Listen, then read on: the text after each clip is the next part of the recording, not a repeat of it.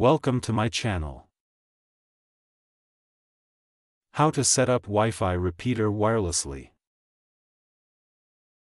1. Gather the equipment. Before setting up the Wi-Fi repeater, ensure you have all the necessary equipment. You will need a repeater, an existing home Wi-Fi router and Wi-Fi network with the password to hand, and a computer or mobile phone. 2. Find an optimal location.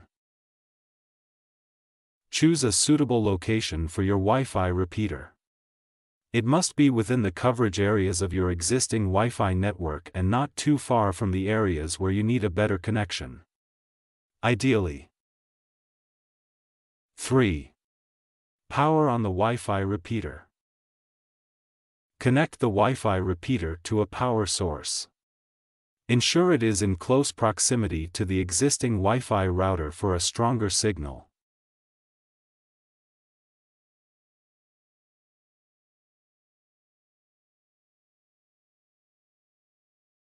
Four, connect to the Wi-Fi repeater. Go to your computer's or mobile device's Wi-Fi settings and find the available network list. 5. Enter the password. Enter the password provided with the Wi-Fi range extender. This password can usually be found on the repeater or the instruction manual.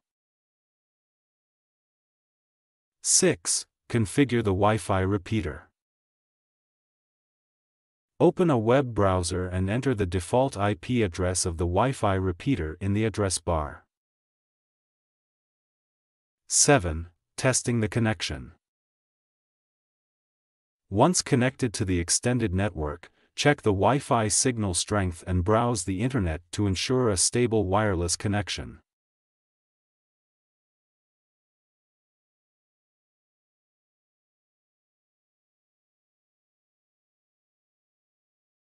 Thank you for watching.